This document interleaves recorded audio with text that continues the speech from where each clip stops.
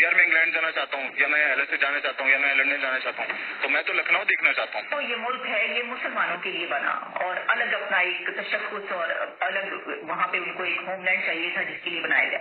तो सवाल यही उठता है कि उस वक्त बड़े सगीर में यानी हिंदुस्तान में उस वक्त तो इतनी बड़ी तादाद जो मुसलमानों की थी वो तो वहीं पर रह गई। शहबाज शरीफ साहब जो थे पता चला था कि उन्होंने टर्की के जो जलजिला आया है। उसके बाद फ़ौरन वहाँ पे कतर जाने की कोशिश की, लेकिन उनको मना कर दिया गया। लेकिन जो कतरी अमीर है, उनको अलाउ किया गया कि वो आए।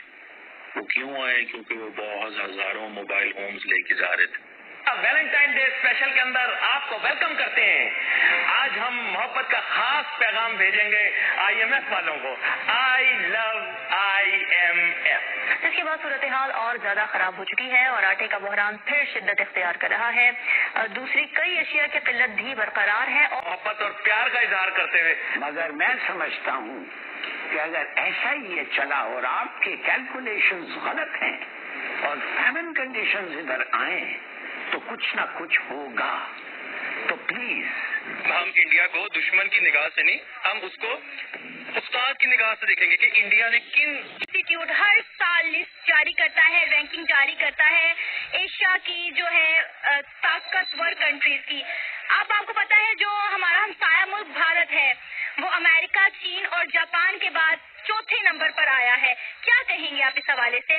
और पाकिस्तान की अगर हम बात करें तो पाकिस्तान जो है वो पंद्रहवें चौथे रैंक पर मतलब हमारे दोनों मुल्क एक साथ साथ है। बॉर्डर लगता है, हमें माँ जाए कहा जाता है, हम साए कहा जाता है, लेकिन इंडिया चौथे रैंक पर और पाकिस्तान पंद्रहवें रैंक पर इतना बड़ा फ़र्क क्यों? और जहाँ तक कंपैरिजन की बात है तो इंडिया से बनता ही नहीं है कंपैरिजन उसकी, उसका रीजन ये है कि मार्शल लॉ नहीं लगा। पैंतीस साल तक आपको पता है कि किसने हुकूमत की है। अच्छा ये सोल्यूशन हम आपसे बाद में पूछेंगे। पहले ये बताएँ क्या इंडिया इस रैंक को डिजर्व करता था? इंडिया इससे ऊपर इस रैंक को डिजर्व करता है। फोर्थ को नहीं बल्कि मेरा मेरा ख्याल है कि थर्ड को तो एटलीस्ट थर्ड पे तो आना चाहिए उसको प्रॉपर तरीके से। आ, तो और उसका है भी। आईटी जिस तरीके से संभाल रहे और बाहर जितने भी वेस्टर्न कल्चर के जितने बड़े बड़े बिजनेसमैन हैं उनको पता है कि इंडिया वो मार्केट है। ठीक है एस्थेटिक भी मिलेगा इंटेलेक्ट भी मिलेगा और इसके अलावा जो है वो देसी तड़का भी मिलेगा। तो बन के एक नई चीज़ आती है कि जो फिर इंसान को जो है वो मसाले आप देख लें खासतौर पे तो आई थिंक वो तो अच्छा थर्ड रैंक डिजर्व करता है। अच्छा हमने हमेशा एक मतलब India Pakistan India versus Pakistan एक मुआवजना रहा है। लेकिन मुझे लगता है कि अब शायद हम इस काबिल भी नहीं रहे कि हमारा इंडिया के साथ मुआवजना भी किया जाए, क्योंकि इंडिया कहाँ से कहाँ पहुँचे और आप पाकिस्तान के हालात देखें, ऐसा कोई क्राइसिस नहीं है जो पाकिस्तान में इस वक्त मौजूद ना हो या पाकिस्तान उस क्राइसिस से ना गुजर और जहाँ तक आपने इंडिया की बात की तो मेरा तो फेवरेट कंट्री है। इवन अगर मुझसे कोई पूछता है कि आप हर किसी का होता है ना कि आप यार मैं इंग्लैंड जाना चाहता हूँ या मैं एल से जाना चाहता हूँ या मैं लंडन जाना चाहता हूँ तो मैं तो लखनऊ देखना चाहता हूँ। मुझे तो वहाँ का सब कुछ और वहीं से है तो उसमें डर क्या है? अफान आपको पता है कि हर साल लुई इंस्टीट्यूट जो है वो मोस्ट पावरफुल कंट्री की रैंकिंग लिस्ट जो है वो जारी करता है। इस दफ़ा उन्होंने जो पावरफुल कंट्री की जारी की है उसमें इंडिया चौथे नंबर पर है और पाकिस्तान पंद्रहवें नंबर पर। क्या कहेंगे इतना बड़ा फ़र्क कैसे आया? फ़र्क सबके सामने है मतलब वही बात है ना कि इस दौर में अगर आपको फ़र्क किसी को नहीं पता कि क्यों है तो वो सिर्फ़ मरदमशुमारी के लिए ही पैदा हुआ है। अच्छा। आ, इंडिया में अमेरिका में कनाडा में चाइना में आप देख लें कि ताकत का सर चश्मा महवर कौन है और पाकिस्तान में ताकत किसके हाथ में और किस तरह कंट्रोल किया जा रहा है मीडिया को? चुप लगा दी गई है हर जगह। तो जब आप अपनी जो पर्सनल ताकत है उसको उजागर करेंगे तो मुल्क तो फिर नीचे जाएगा ना?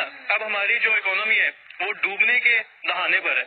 और हर लिहाज से पाकिस्तान जिस तरह पीछे आ रहा है एफ़ आई ए के जो पैदर पे छापे और ये रेड वगैरह और आवाज़ को दबाया जा रहा है तो इसी तरह ये तो होना ही था। ये तो कोई उचंबे वाली बात नहीं है मेरे लिए। पाकिस्तान के वज़ीर आज़म शहबाज शरीफ साहब जो थे पता चला था कि उन्होंने टर्की के जो जलजिला आया है, उसके बाद फ़ौरन वहाँ पे कतर जाने की कोशिश की, लेकिन उनको मना कर दिया गया। लेकिन जो कतरी अमीर है, उनको अलाउ किया गया कि वो आए। वो क्यों आए? क्योंकि वो बहुत हज़ारों मोबाइल होम्स लेके जा रहे थे। अब छत्तीस हज़ार के करीब जो लोग हैं वो अपनी जान से चले गए। पाकिस्तान की जो इंफॉर्मेशन मिनिस्टर है, मरियम औरंगज़ेब साहबा, उन्होंने कहा कि प्राइम मिनिस्टर जाएँगे और अपनी कंडोलेंसेस करेंगे, ये वो सारा कुछ होगा। लेकिन जारी बात है, वो पोस्टपोन कर दिया गया। हम तो जा रहे थे इसलिए कि चलो जाएँगे, अफसोस का इजहार करेंगे। लेकिन इंटरनेशनल कम्युनिटी या जो होस्ट कंट्री है, उनको ये बताया गया और उन्होंने जारी बात है पाकिस्तान की लीडरशिप को कहा होगा कि आप इस वक्त ना आए, एक बड़े सटल तरीके से कहा होगा।